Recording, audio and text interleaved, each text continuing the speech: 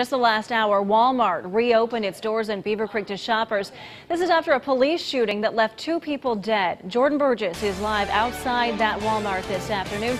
Jordan, what are shoppers you talked to saying about what happened?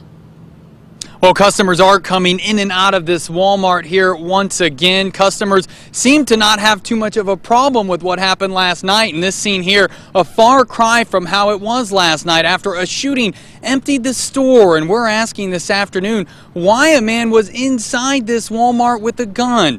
Now, the store did reopen just before 11 this morning. Now, police are still investigating why that gunman entered this Beavercreek Walmart just before 8:30 last night. Officers say that 22-year-old was waving a gun at customers, including children. Police say he was shot when he wouldn't listen to officers. He later died. Now, we do not know his identity yet.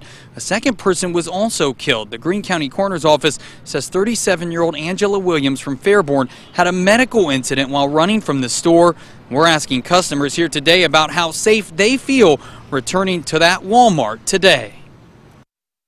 I'm very sad about this whole thing because with my two kids in the back of my car and everything, I'm very kind of concerned if I take them into the store and everything and have them with me, it's going to be more concerning. I have a surreal feeling, especially, you know, some of these employees, you know, most of these employees probably work days. They probably weren't here last night, but, you know, I, I can only imagine what it, what it would be like, you know, for the pharmacy employees or for the um, night shift employees.